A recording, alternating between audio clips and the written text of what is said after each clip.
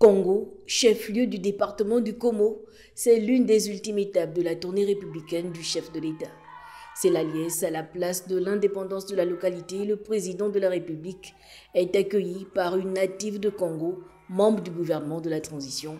Accompagné de la première dame Zita Oligingema, le général a été attentif aux doléances des populations. Le conflit homme-faune demeure encore une préoccupation je voudrais vous inviter à observer une minute de silence pour maman Mouboulou Sylviane, qui est l'une des nombreuses victimes du conflit homme-faune.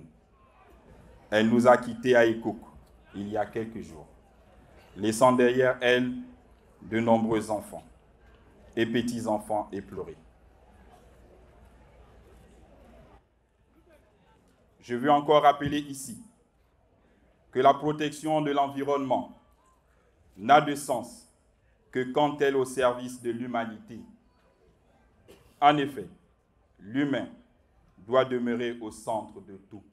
Au-delà des requêtes des Congolais, un fait reste indéniable, les travaux de modernisation de la capitale départementale avec ses trois cantons changent la physionomie de cette ville de la province de l'Estuaire.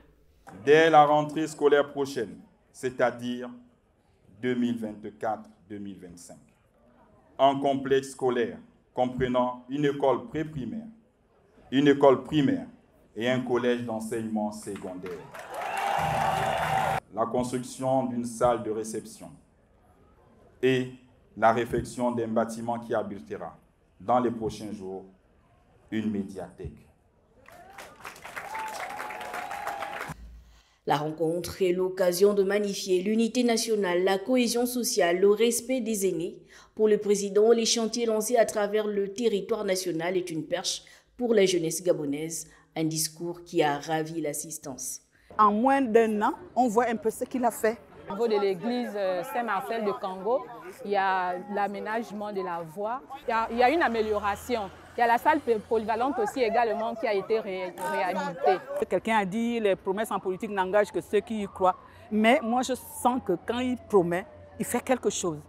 Le département du Como bénéficie de la nouvelle donne, la CTRI réalisation une transformation totale. On enregistre dans les trois cantons des travaux de réhabilitation et d'extension de l'école primaire d'Angon, la paroisse Saint-Marcel, l'implantation des émetteurs radio et télé, la construction de la salle polyvalente. La restauration des voies de communication avec le CTRI, le rayonnement du Congo est une certitude. Les populations affichent leur sentiment de sécurité.